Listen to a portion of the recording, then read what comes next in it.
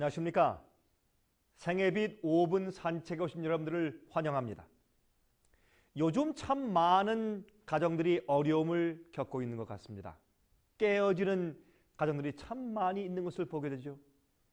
그렇게 뜨겁게 사랑하던 사람들이 돌아설 때 보면 그렇게 서로들 미워하는지 정말 이상하게 느낄 때가 한두 번이 아닙니다.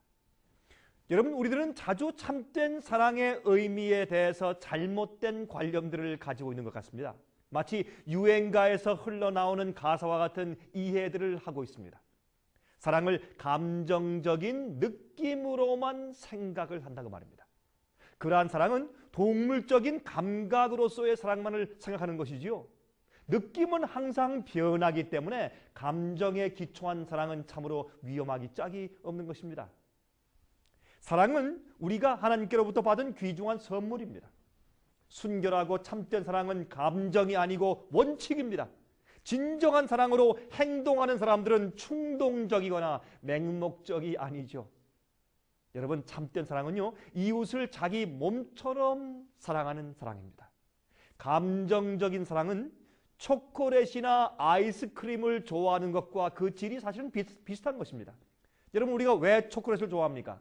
자기를 기쁘게 해주니까 좋아하죠. 자기를 즐겁게 해주니까 좋아하는 거 아니겠습니까? 자기 입맛과 느낌을 즐겁게 해주기에 좋아하는 것입니다.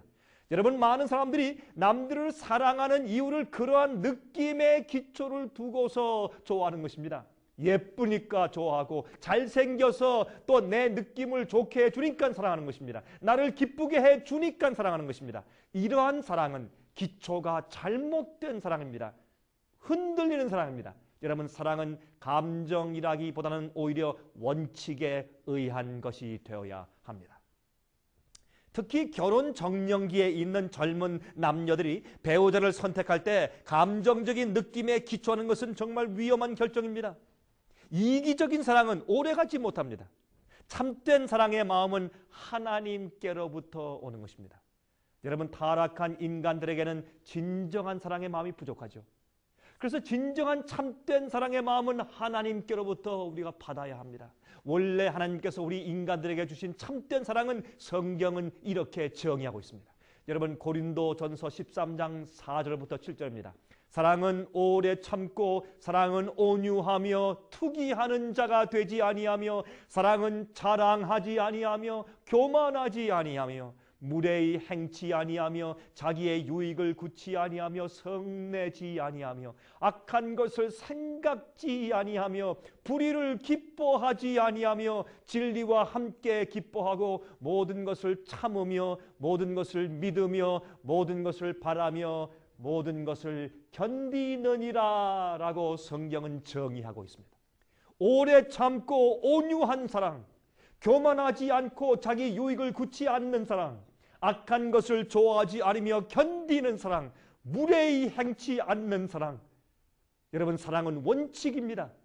참된 사랑의 마음을 하늘에서 받으면 그 원칙이 생기는 것입니다. 이러한 사랑을 갖기 원하십니까? 하나님께 나아가서 새로운 마음을 받으십시오. 감전적인 사랑은 우리를 행복하게 하지 못하는 것입니다. 여러분 저희가 만든 성경 연구 과목들을 통신을 받아서 우편으로 공부하십시오. 집에서 편리할 때 공부하십시오. 성경을 연구하심으로 여러분 마음 가운데 하늘의 사랑이 싹 트일 것입니다. 여러분 저희가 마, 만든 성경 공부를 신청하십시오. 그래서 하나님 안에서 거듭나십시오. 사랑의 원칙을 배우십시오. 하나님의 마음을 받으십시오. 그래서 가정과 자기의 결혼 생활의 행복이 무엇인지를 성경적인 원칙 안에서 맛보시기 바랍니다. 여러분, 우리 마음 가운데는 그런 원칙이 사실은 깨어져 버렸습니다. 하늘에서 예수의 마음을 받아야 합니다. 그 사랑은 성령으로 여러분 마음을 채워주시는 능력으로 임할 것입니다. 여러분들도 참 사랑을 가질 수가 있습니다. 자, 다음 시간 다시 뵙겠습니다. 안녕히 계십시오.